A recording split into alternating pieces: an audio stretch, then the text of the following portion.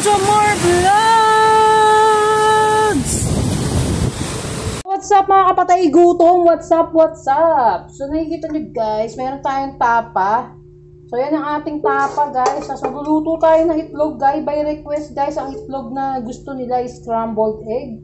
So scrambled ang luluto natin. No, hindi ano, hindi sandy side up guys, scrambled. So yun na guys, no. Nainit lang natin yung ating ano guys. So ayan, may mga tira-tira pang mga ano nung tapa. So lagay na rin natin dyan. So ang bango ng tapa ng Pure Foods guys. Pure Foods yung gamit nating tapsi, tapa Pure Foods. So ganyan guys, yung natitinda ako, naaalala ko guys. So ganyan-ganyan lang yung aking tapsilog guys, yung tapa, ganyan lang oh. Diba? Rap sa bells guys. Tapos yung ating sauce, ito yung sauce, di ba? May lagayan ng sauce dyan. Ayun na nga, guys. Nasunog ang ating, ano, guys, ang ating So, yun na nga, guys. Iniinit na natin yung kawali natin, guys. Lalagay na tayo ng mantika to the highest level point na naman talaga to, no? So, yun na nga yung mantika natin, guys. Yan. So, painitin lang natin ng bonggacious, guys. So, scramble na lang natin yung itlog para sigurado, guys.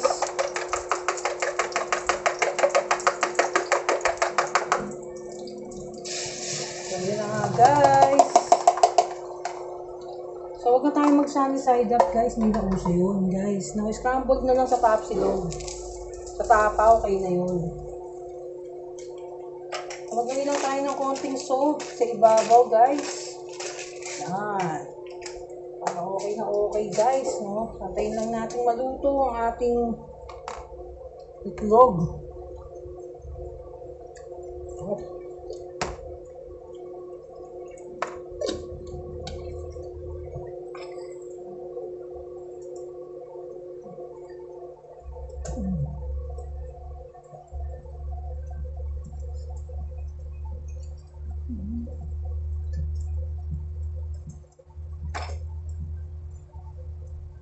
So, ayan na nga guys.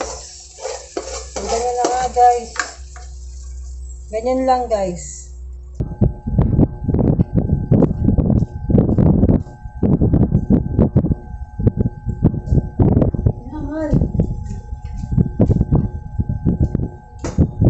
So, ayan nga mga kapatay gutom. Kakain na tayo. Maraming salamat sa dinner. Nagutom kami Lord. Pero hindi na kami masyadong nag-dinner ngayon. Salamat sa masarap na pagkain araw-araw na pagpapala. Hmm. Hmm. Guys, malited guys. Ang sarap. Ang sarap ng suka, guys. Hmm. Ang sarap, guys. Guys, sausaw natin sa suka. Ang sarap, guys. Grabe to. The highest level. Mmm! Ang sarap ng sukang Ilocos. Sausaw natin, guys. Sarap.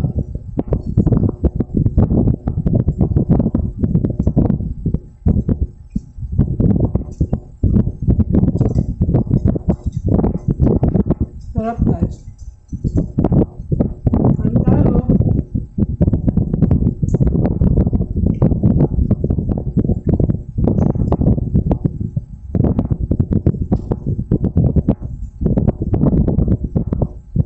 Sarap.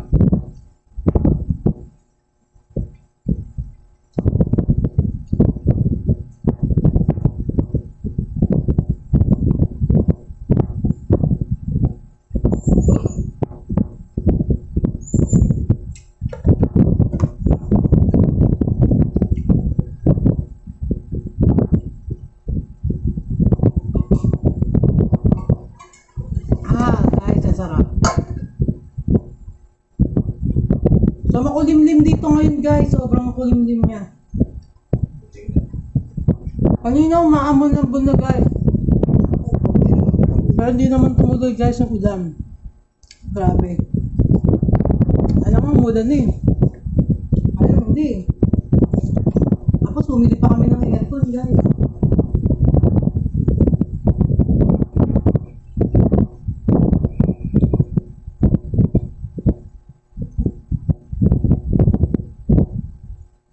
Sarap ng suka. Sobrang sarap. Ito talaga yung suka ng Ilocos.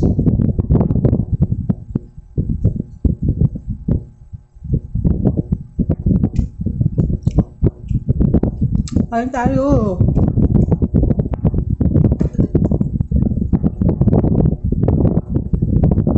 Yung ano, yung yung pinapakuloan din natin sa tubig tapos ginugupit-gupit natin guys. Para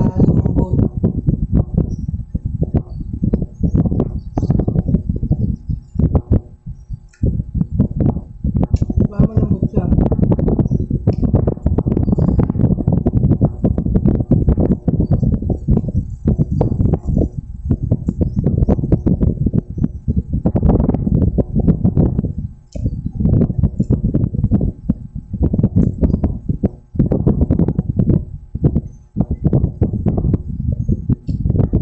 Sarap magkamay.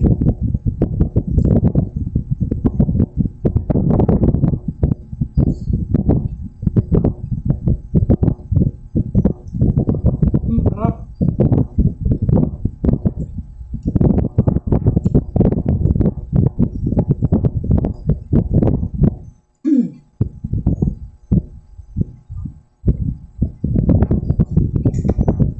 Tulog si Dora.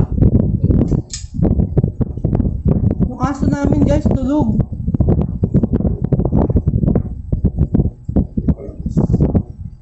Kasi ano yun, yung mga mag-init kasi guys, eh, talagang hindi sila nakakapagpahinga nun. Tapos yung, mga, yung kapatid niya pa namatay guys. Tapos yung isang friendship nila pa namatay din. Pagkatapos mamatay nung kapatid, si Kalma. Namatay yung isa. Yan. si Gali. Pero yung namatay si Kalma, guys, yung namatay si Kalma, pinuntahan niya pa, pinuntahan pa ni Gali yung si Kalma para dabayan siya sa huling hininga niya. Wala siya nasusunod. Tapos doon siya rin pala susunod after 2 weeks.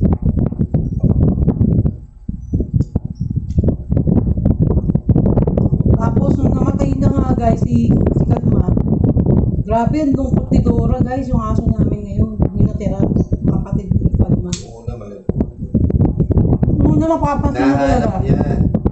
Nahanap niya kung nasaan. Hmm. Nahanap niya. Papansin mo talagang malungkot guys, talagang hinahanap niya talaga kung saan nilibing. Tapos yung nilibing pala yun guys, sumama. Sumama siya sa pag, ano, libing ng kapatid niya. Di ba tagal niya nakatitig? Tinataboy kasi ni Mahal si, Kasi baka kasi hukayin niya yung kapatid niya. Yung ano, pag-uwi. Hmm. Nakahanapan yung mga kayong tingin sa niya. Hmm. Pagbalik ko nga, inaapoy ko. Dora. Hmm. Si Kalma kasi guys na heat stroke. Kasi talagang nanginig siya guys. Pero ang tagal niyang lumalaban guys, totoo lang. Nung ano, yung binuhusan ko siya ng tubig na malamig, may masmasan siya guys. Biglang lumipat siya ng pwesto niya. Kasi sa sobrang init, talagang kailangan mong buhusan, di ba? Dahil kasi nga parang, yun eh, masmasan siya. Tapos yun, nung- dapat mamamatay na siya noon nung hindi ko pa siya binubuhusan. Tapos nung binuhusan ko siya, na masmasan, after siguro mga one hour, tsaka siya bumigay guys. Hindi niya nakayanan guys eh. Kasi lumalapan talaga siya guys ha. Tsaka lahat pala dito, pati yung binibila namin ng ice cream, yung tindahan, lahat din yung mga aso rin nila nagkaganon. Tapos ginagalis sila guys, ginagalis. Grabe yung galis nila. Buti nga to si, ano, si Dora, yung kapatid, lagi namin pinaliliguan guys. Kasi yun, ayaw maligo nun guys. Ayaw maligo talaga nun. Tinatamad siya maligo.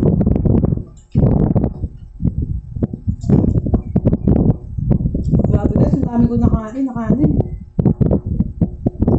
Kasi kanina umaga pa yung pinakakain ko guys na kanin. So bitin niyo ako. Dapat talaga hindi na talaga kami nagkakanin sa gabi ngayon na ulit. Eh.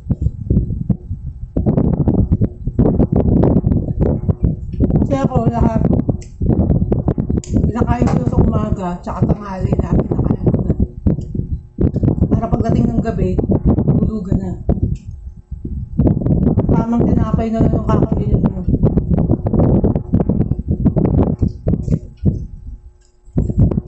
So, titiran ko si Dora para may makain siya mamaya pagagising niya. Hindi siya mag-iiyak. Pagagising niya, meron siyang surprise foods. Dora. Si Dora. Pagtatabi ko na si Dora, guys. Alam mo ba kanina, pinagluto ko pa ng napakasarap na pagkain yun, guys. Ang sarap ng pagkain niya. Luto ko pa siya, guys. Nung ko kamahal yung aso na yun.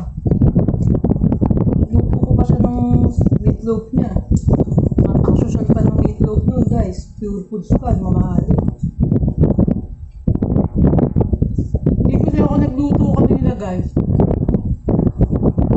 Nagluto pala kasi ako kanina. Gulay lang guys. Eh may tuna yun. Kasi bawal nga sa aso ko yung ano, isda, gagamitin.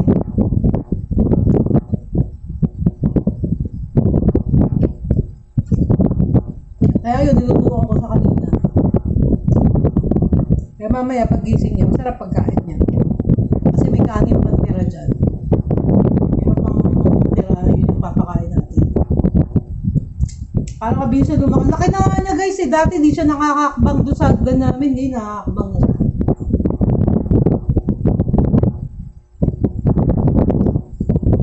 Malaki na siya. Kaya lang talaga yung galis niya talaga yung problema namin guys. Yung galis niya talaga. Pero ginagamot naman namin, pinapaliguan namin lagi, araw-araw. Meron yung pang aso, yung sabon ng aso.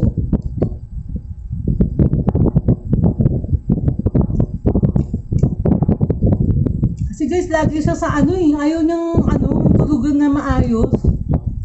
Naayos ko nga yung tulugan niya guys eh, nalagyan ko ng sapin. Tsaka nagkahawa, nagkahawaan kasi sila guys. Kaya nagkaganyan, nagkahawaan-hawaan sila. Si Gali kasi, kaya Gali. Galis kasi ang daming galis nun guys. Aso kasi ng kapitbahay namin yun guys. Inampun lang namin. Yun, pagkakampun namin, ang ganda-ganda ni Dora tsaka ni Kalma. Nahawa doon guys, bumangat yung balat as in naging galis. Hmm, kasi yung isa si Gali, gusto gusto dito. Tapos, yung, yun nga, wala na nga kami magawa guys, kasi nga naawa kami nga, kaya namin inampun. Eh, gusto gusto yun dito. Tapos, nung ano na, kasi dumadami na talaga yung galis guys eh. Pinalabas na namin siya dahil kasi nakakaawa nga yung dalawang aso. Yun, pinakalis na namin siya. Yun. After 2 weeks, 3 weeks nga, yun na, mamamatay na din pala siya. Kasi yun ang unang nagdala talaga guys ng mga galis-galis talaga. Yung dalawang tupa namin. Gali siya. Talagang galisin siya talaga guys. Siya nagdala talaga ng ano. Kung hindi namin pala siya inampon guys, buhay pa yung isang yun. Hindi sila nagkaroon ng galis. Eh, kaya lang, naawa nga kami guys na kasi walang nag-aalaga doon sa aso mo. Inampon na namin. Tsaka siya rin naman yung unang aso natin, di ba? Nung lumipat kami dito, siya rin. Kasi lagi nga nandito, laging gusto niya kumakain. Tako ko, di ba? Naubos ko na yung kanin, nakaganda. So, ganun. Hindi tayo makapag-hot water na may quantum kasi guys, sobrang init. So, ngayon, ginagawa ko, dinadirekta ko na lang yung quantum sa bunganga ko, guys, para yung mga nakakain nating mga mantika, maalis.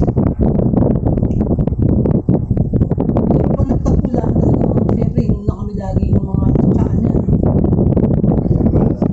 Diba? Yung tirahin namin pag matagal. Hindi ko ipagpili natin. Yun na, malunggay namin, guys. Talagang grabe. Di ba, ang mahal ng malunggay, guys. Ang mahal ng malunggay.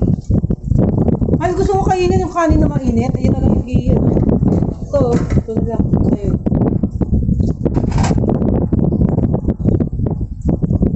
guys ng mga pinalitan ko lang ng kanin ni Mahal kasi nagtagal ko yung kanin. Ito yung kanin niya. Napakain ko na ng may yan. Idora. Mahal. Oh. So, yun na nga guys, yun lang yung mga kwento-kwento. So, dito nagkatapos ang aking kwento ni Lola Basyang, mga kapatid gutom. Lumamo na rin kayo dyan.